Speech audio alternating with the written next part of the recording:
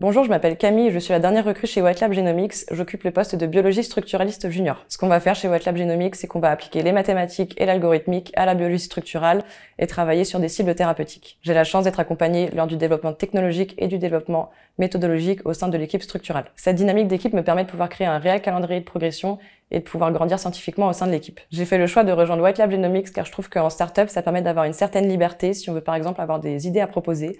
On va avoir des projets qui vont être innovants et on va avoir une euh, ambiance qui sera différente que celle dans les grandes entreprises. Les thérapies génomiques font partie des enjeux majeurs d'aujourd'hui. On va travailler dessus d'une manière différente et ambitieuse et ça va nous permettre au final d'avoir des projets qui seront très stimulants. L'équipe est très soudée, on évolue dans un cadre dynamique et on s'y sent très vite à sa place.